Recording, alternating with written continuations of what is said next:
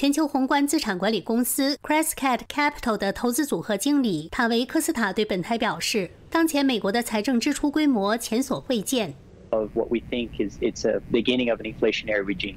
You have uh, the risk of of us having to, or the U.S. having to reduce the reliability with China and other places, and having to uh, rebuild an infrastructure plan of the U.S. And so all of those things end up being inflationary. And 科斯塔表示，如今全球央行的资产合计已经缩减了大约3.5万亿美元。It's very clear to me that uh, as as we continue to see central bank balance sheets uh, shrinking over time globally, uh, that should also have a lot of impact on share prices of the overall equity markets here in the U.S. So it is quite concerning what's happening. 与此同时，业内专家预测，美联储下周将大幅加息，以缓和四十年来最严重的通货膨胀。届时也将推高房贷、车贷和信用卡利率。